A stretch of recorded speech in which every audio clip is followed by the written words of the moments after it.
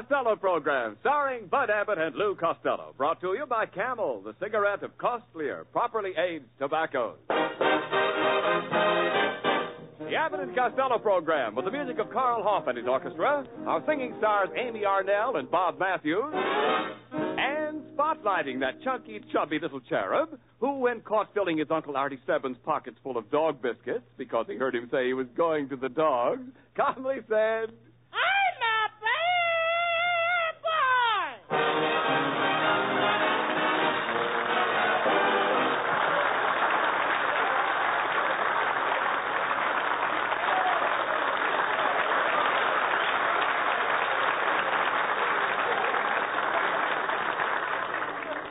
Costello, come here.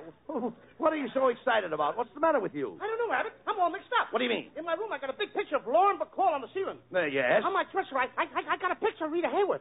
And on the walls, I got two pictures of Betty Grable and Yvonne De Carlo under my pillow. And then I got a picture of Dorothy Lamour in her sarong, and I think I'm going nuts. Why? All night long, I keep dreaming of Gene Autry's horse. Oh. Costello, what are you doing with all those pictures in your room? Well, it's time for me to put on my annual spring play, and I'm looking for my leading lady. I think I'll pick Hedy Lamarr this year to play the big love scene with me. Hedy Lamarr is a great actress, naturally, but uh, she'd make a fool of you in two minutes. Yeah, but just think of those two minutes. Oh. Will you please talk, Sen? Hey, what play? What play are you doing this year? Well, Abbott, due to the meat shortage, I thought I would do that famous old play about meat. About meat? Yeah. You dummy, there's no play about meat. Are you kidding? I'm not kidding. What about Abie's Irish roast? Oh, come on. And Shakespeare's play about meat, The Merchant of Venison. Oh, will you please cut it out? Cut it out. And then there was Hamlet, with the famous lines, to beef or not to beef. then there was Porky and Bess, Liver, come back to me. You know what you're saying? They even wrote a picture about the cow that backed into the meat grinder. Yeah, What, what was the name of that? Lost beef end. Did I go back to that one? Yes, I know you did. Look, will you cut it out, please? Uh, what's your play all about? Well, it starts with me kissing a leading lady for 20 minutes. Uh, you kissed the leading lady for 20 minutes? Yep. Uh, then what happened? The curtain goes up and the play starts. Oh, I see. Tell me, that's no way to write a play. In order to write a play, you've got to collect your data. What was that? Yeah, you've got to collect your data. Where's your data? He's home with my mama. No, no, no. I mean the data for your drama. Where's your drama? She's home with my grandpa. No, no, no, no. Look, Costello. w- w- uh, by the way, what about me? Uh, uh, do I have a part in the play? Oh, yeah, Abbott. You got a beautiful part. Swell. As the play opens, Yes. they find you drowning in a bathtub. And the water is pouring over your Yeah, head. wait, wait, wait, wait, yeah, wait, wait a minute, wait, wait a minute, wait a minute, wait a minute. Yeah. Do, do I have any lines? Oh, yeah, you got two lines. Uh, what are they? Glub, glub. That's all. What do you mean that's all? You see, Abbott, this play is a mystery. Well, what am I doing in the bathtub? That's the mystery. Suddenly, a shot is heard. Wait a minute. Do I get hit? Yeah. Where? Right between the towel rack and the soap dish. That's the worst thing I've ever heard. Well, if you don't like that, I've got a historical play. It's the story of the first Indian Gypsy Rose Lee. The first Indian Gypsy Rose Lee. Yes, strip poker hunter. Say, listen, Costello, you can't. You can't bring a play in here at the last minute and put it on the air tonight. Why, the NBC censor has to see and hear it first. The censor? Certainly. What has the censor got to do with my play? Well, your your play might contain some naughty words. Here, here, rabbit. Well, now wait a minute. Stop talking like that. After all, I am uh, a scout. Uh, I'm, I'm the scout the first I order. understand that part is all right. You, you won't find any naughty words in my play. I understand. All right. All right. I got it. Listen, we'll see about we'll see about that. You go ahead and read your play, and I'll pretend that I'm the censor. Now, if I hear one naughty word, look, I'll tell you what I'll do. I'll ring this little bell. You see this little bell I have in my hand? If you hear a naughty word. I'll ring it like that. Okay. Now, can you hear that all right? Sure. All right, now go ahead. Okay. Now, as my play opens, a boy and a girl are riding along the country road, far from the city's hustle and bustle. Ah, ah, ah, ah, wait a minute. Wait a minute. you can't say bustle. But I have to say bustle. This takes place in the back country, Uh, right near the county seat. now, listen. I'm sorry, Costello, but your bustle is out. My bustle is out? Yes. That's just the way I'm built. Well, please go on with your story. Okay. All right. Well, if the boy and girl are riding along, he suddenly stops the car. Ah, ah, ah, ah, ah, wait a minute. Uh, they've got to keep on riding. But the car is out of gas. I'm sorry you have to change it. The car ran into a tree. You'll have to change it. There's a two-month-old baby sitting in the middle of the road crying. Oh, that's okay. That's okay. Yeah. Then you change it. Uh, hey, look.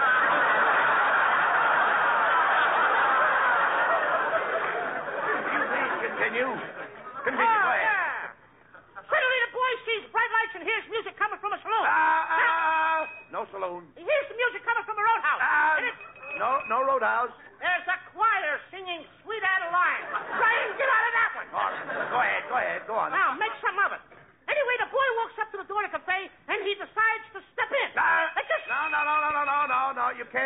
Can't say step in. I'm sorry, it was a slip. Ah! Wait a minute. You can't say slip. All right, I, I'm, I can't say slip. No, no, that also comes under the uh, census ban. Underwear? Uh, no, no, no, no, no, no. Wait a minute. You, you can't say underwear. Ah, you know how those things creep up on you. Uh, you go on with your story,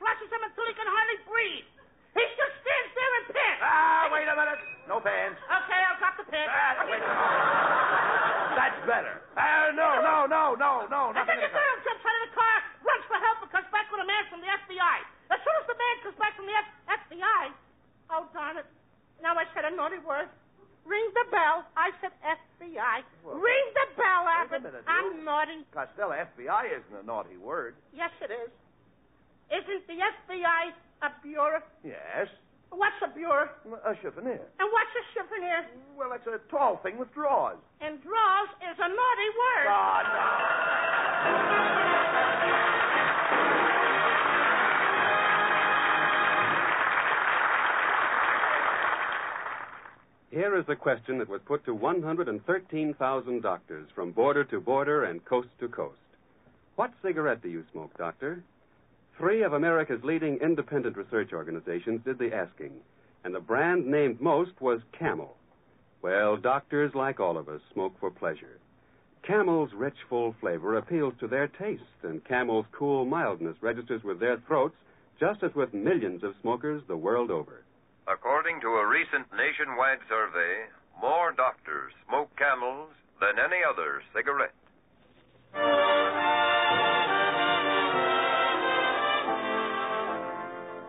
And now, Camel's own Bob Matthews sings Nick Kenny's newest hit, Blue. blue. I was lonely and blue. I was aimlessly drifting along with the tide like a ship lost at sea.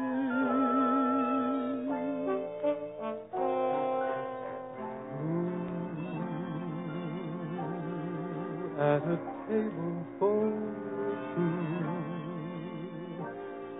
and the sweet serenade that the orchestra played was a blue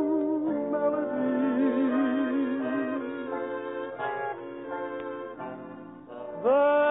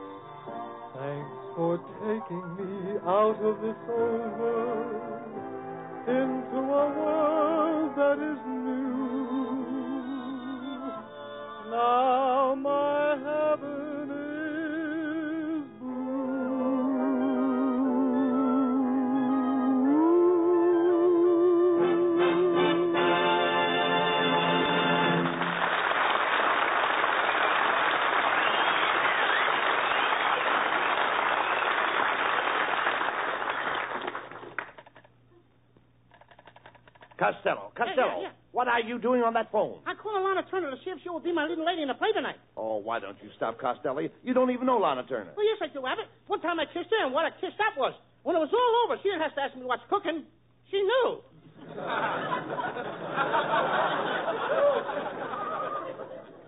operator, operator, where are you answer?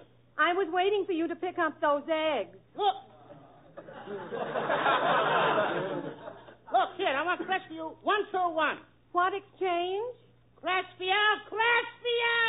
I'm sorry, I can't understand you. Crestview! I'll spell it.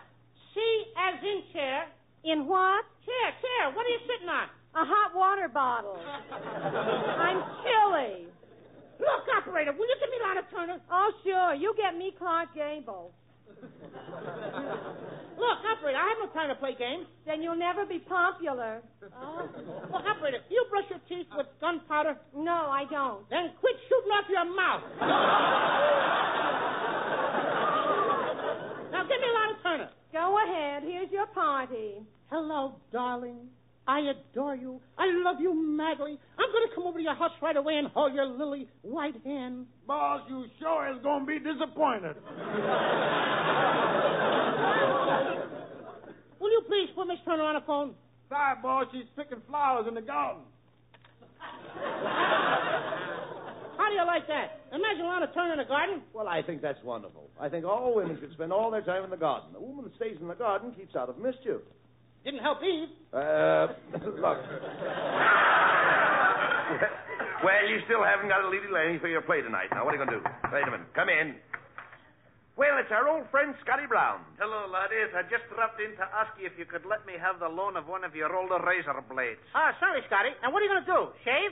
No, laddie. We're having split pea soup for supper, and I haven't got anything sharp enough to split the pea. Here you are, Scotty. Uh, thank you, laddie. Well, I've got to get back into town. I'll go out and lie down on the street. You're going to lie down in the street. Aye, laddie. Some motorist will think I've been run over and rush me into town. It works every time. Come on. Come on, Costello. Let's go across the hall and talk to Mrs. Niles. Now, she might suggest a leading lady for your play. But uh, be careful now what you say and how you say it. You understand? Halls are kind of dirty, aren't they? Go ahead. Hello, Miss Rabbit. I see you're taking your bulldog out for a walk. Oh, pardon me, that's Costello. I wish you hadn't said that, Mrs. Niles. I was just about to pay you a compliment. Oh, you were? Yes, I was just going to say how much better you look in sunglasses. Uh, but I'm not wearing sunglasses. No, but I am, and you look much better. Quiet. Quiet, Costello. Uh, Mrs. Niles, Costello is looking for a young and beautiful girl to be his leading lady. I accept. You accept? He said a young and beautiful girl. Well, I have the face of an 18 year old girl. Well, you better give it back to her. You're getting it all wrinkled. How do you like that? Kenneth! Kenneth! Oh, yeah, yes, dear. Kenneth, tell Mr. Costello what you think of my work on the stage. Costello, my wife is a great actress. To me, she's another Hepburn. to me, she's another hot one. Costello, quit acting so smart now. Oh, that's all right, Mr. Rabbit. I think Costello is a very clever little man. In fact, Costello, I have a little problem I'd like to have you help me with. Go ahead. Uh, tell me, uh, how many hairs does a pig have? I don't know. Well, the next time you shave, count them. you certainly told Costello off that time, dear. I think you're wonderful. You're my little potato bug. Oh, no, Kenneth, dear, you're my little potato bug. Oh, no, I insist you're my little potato bug. And I insist you're my little potato bug. Well, if anybody's out there with a flint gun, what are you waiting for? That's enough, Costello. Get out of my apartment and don't ever come in here again. Well, you've done it again, Costello. Why do you always have to be so mean? I don't know. Ah, you don't. I'm just a tramp hitchhiking down the highway of life. I'm just a fauna looking for flora. Please don't tell Dick Tracy on me. If you do, he won't let me work for him anymore. You work for Dick, Dick Tracy? Yeah, I pose for those pictures of B.O. Plenty. Uh, come on, Costelli. You still haven't found your leading lady. Oh, pardon, monsieur. Would you hold the door open for me? Hey, look, Costello. It's Mrs. Niles' French maid, Fifi LeBlanc. Hello, Fifi. Oh, Monsieur Costello, you cute little man, you. Mon petit ami, mon cher, cher ami. Vous êtes le plus bel homme du monde. Ah, mercy buck-ups and praise be.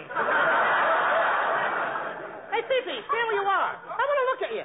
Good, good. You're just a girl for my leading lady. Monsieur Costello, you mean I look like an actress? Oh, you have such beautiful eyes. With you as my leading lady, we will climb to such heights. It will make us dizzy. Oh, yes, but you have a head start.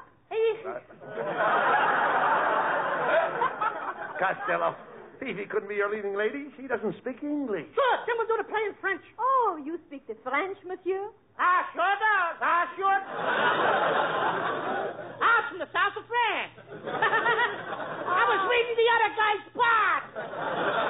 Ah, to be back in Paris, to promenade dans les Champs-Élysées, through the Montmartre, under the Arc de Triomphe. Not to mention the Rudy Lapoo and the boys de Bologna. Costello, what are you doing? But you forget that I am the descendant of that great Frenchman, Francois of Villon. But Francois Villon was a vagabond and a bum. I mean,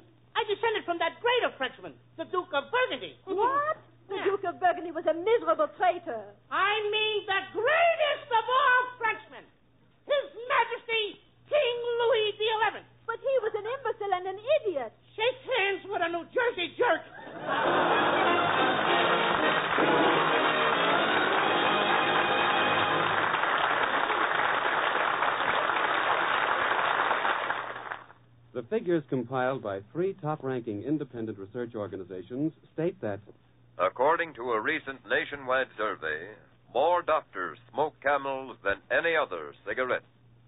this survey put the question What cigarette do you smoke, doctor? to 113,000 doctors, doctors in every state of the 48. The brand most named was Camel. Now, why don't you have your own personal cigarette survey? Ask your T zone, that's T for taste and T for throat, about camels. Your taste will tell you how it likes the rich, full flavor of Camel's great blend of costlier tobaccos. Your throat will tell you most conclusively how Camel's cool mildness agrees with it. Your T zone may well explain why Camel was the brand named most by doctors. With Carl Hoff and the Camel Orchestra, lovely Amy Arnell sings Give Me the Simple Life. I don't believe in fretting and grieving. Why mess around with strife? I never was cut out to step and strut out. Give me the simple life. Some find it pleasant dining on pheasants. Those things roll off my knife. Just serve me tomatoes and mashed potatoes. Give me the simple life. A cottage small is all I'm after. Not one that's spacious and wide. A house that rings with joy and laughter. And the ones you love inside. Some like the high road, I like the low road, free from the care and strife. Sounds corny and seedy, but yes, indeedy, give me the simple Some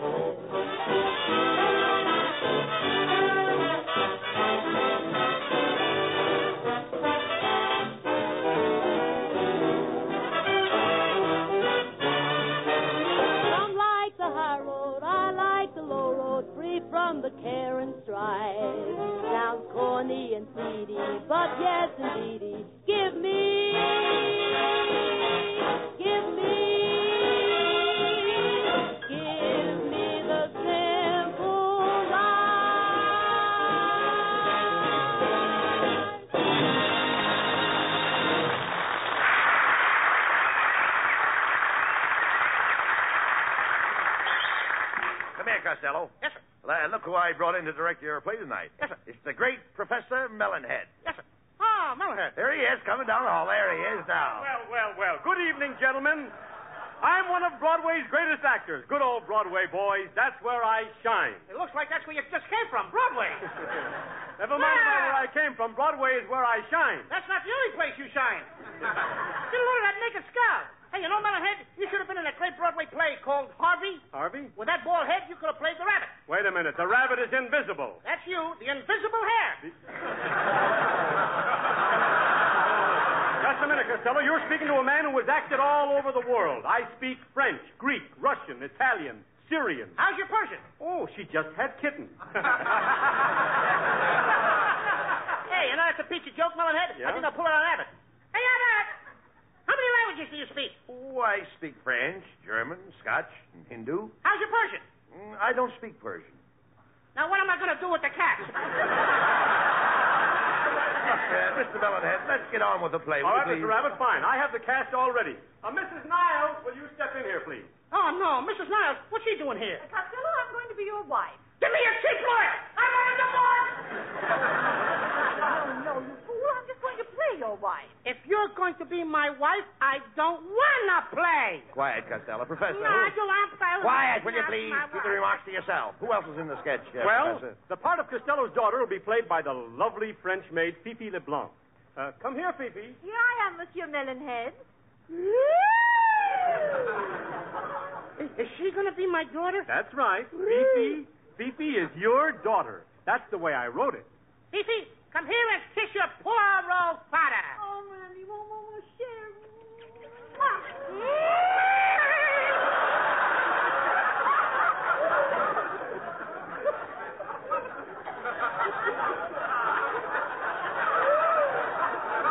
I'm caught. I'm bleeding.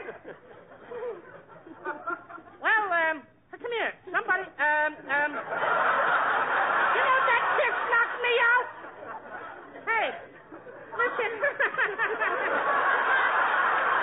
Ayabas. Ayabas. He actually kissed me. Ayabas, this melonhead is a great writer. Never mind, never mind, Costello. Come on now. Will the cast please take their places? Please set the scene.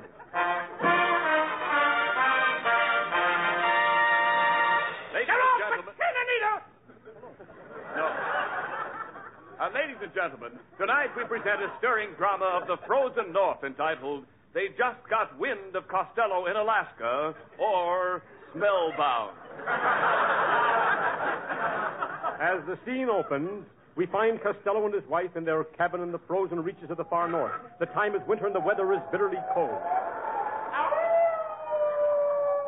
Hey, listen, Ma. One of them boys from Hollywood and Vine is lost. Cut! That's a nice part for a wolf, ain't it? No overtime. Get. Paul, that's a blizzard of howling outside. It's been a long, long, hard winter. What's the date today, Paul? I'm at 49. December the 49th. It's so cold, January is afraid to show up. B-R-R. B-R-R. It sure is cold.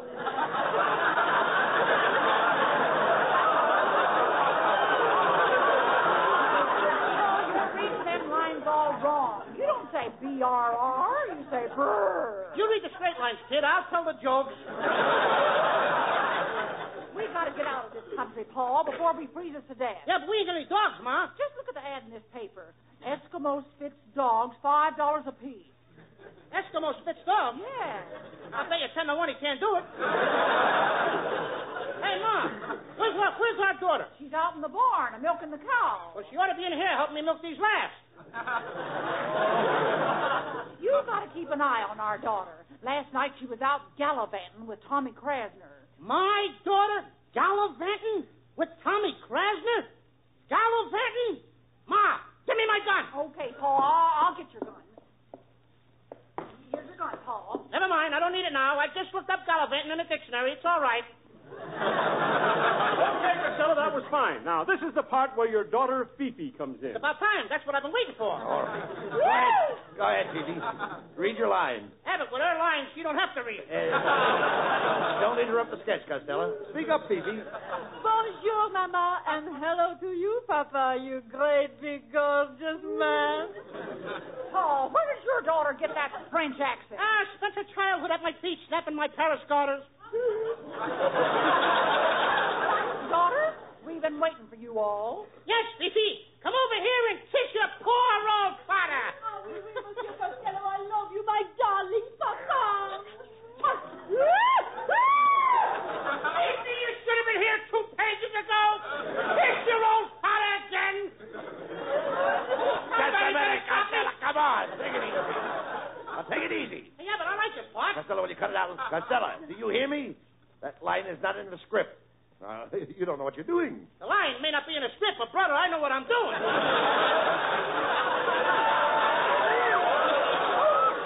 Costello, Costello, will you please get on with the play? The blizzard is raging outside. Look, it's bitter cold. You're freezing and you've got to thaw out. Now, do you know what you do? Sure.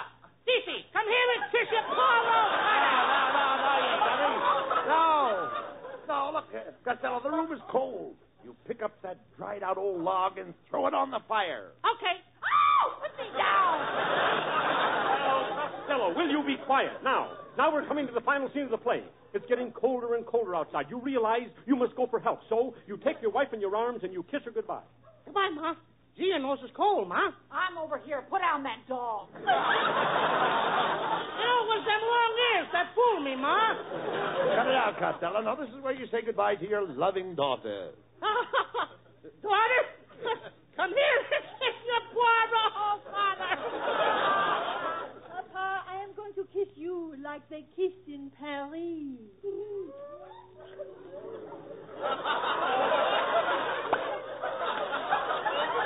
There, Papa. Do you like the way we kissed in Paris?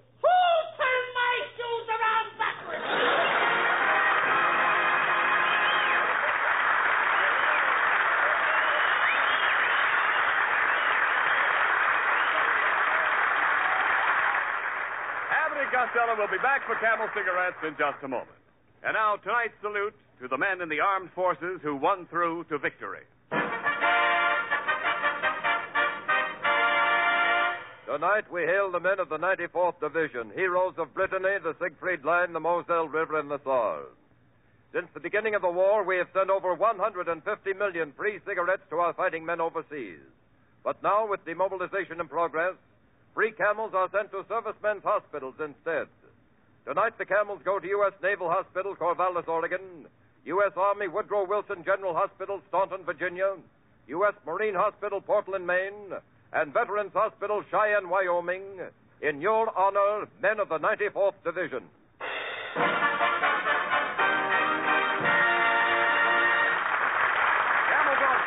To the United States twice a week. Our rebroadcast to practically every area in the world where our men are stationed and to our good neighbors in Central and South America.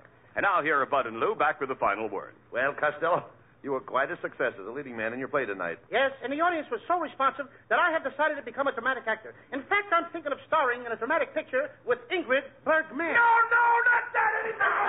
How much the guy stand over? Wait a minute, wait a minute. Hey, you white guy. I guess you think I couldn't be a dramatic actor? Are you kidding? You're so dumb you can't answer a simple question. Hmm. Tell me, Fatso, what makes a balloon go up? Hot air. What's keeping you on the ground, huh? Good night, folks. Good night, everybody. Good night, folks.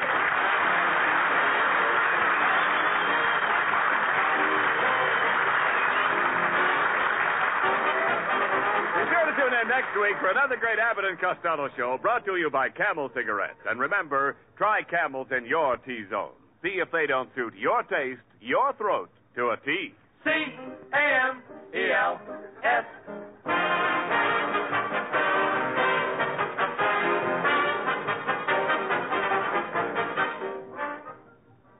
What does the pipe smoker want in his pipe tobacco?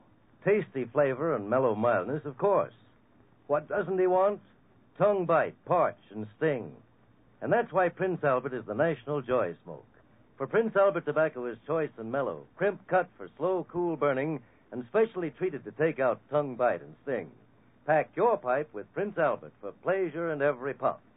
And be sure on Saturday night to tune in the great Prince Albert radio show, Grand Ole Opry, coast to coast on NBC. To listen at the very same time next week for the Abbott and Costello show for Camel Cigarettes. Thursday night is All-Star Night on NBC. Stay tuned for Rudy Vallee over most of these stations. This is NBC, the national broadcasting company.